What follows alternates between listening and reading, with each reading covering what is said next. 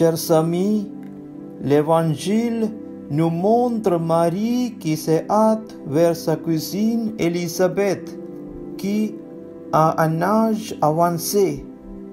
Elle est aussi enceinte. Cette hâte qui est soulignée mérite de retenir notre attention. Elle donne une image des plus intéressantes de Marie. On y voit son attention qui se porte vers sa cousine dans un geste d'amour et de tendresse. Elle se met en route. Dans cette mission, cette jeune femme, Marie, comme jeune mère enceinte, sent le besoin d'être accompagnée. Elle rejoint sa cousine qui elle aussi vit quelque chose de semblable. En la voyant, Élisabeth s'écrie, Tu es bénie entre toutes les femmes, et le fruit de tes entrailles est béni.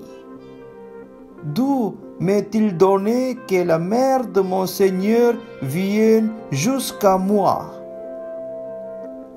L'enfant qu'Élisabeth porte dans son tressail, car elle porte un enfant qui sera, selon les paroles de l'ange à son mari Zacharie, le précurseur du Sauveur.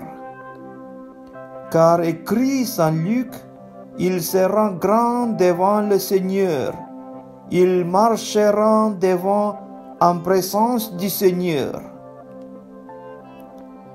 Préparons-nous à célébrer ce don de son Fils qui nous fait Dieu le Père et écoutons les signes de sa présence.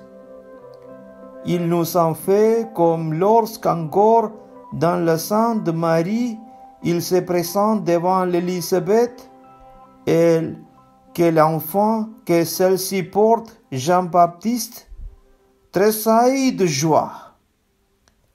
Soyons assurés que le mystère de la visitation de la vie voyageur de Marie continue de se vivre aujourd'hui. Nous n'avons pas besoin d'aller bien loin pour rencontrer des gens qui attendent une présence, un mot, une aide, un encouragement.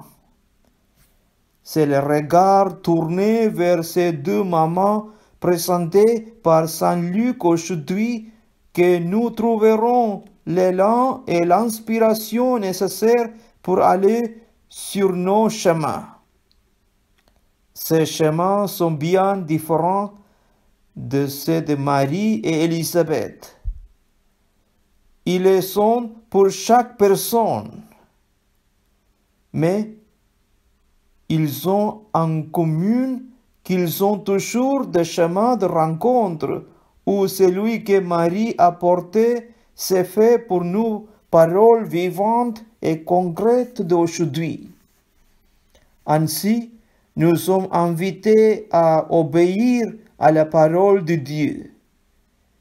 Et avec Marie, notre mère, nous aussi, nous sommes disciples de Christ, appelés à donner nous aussi le Christ au monde. Gloire au Père et au Fils et au Saint-Esprit, comme il était commencement, maintenant et toujours, dans les siècles des siècles. Amen.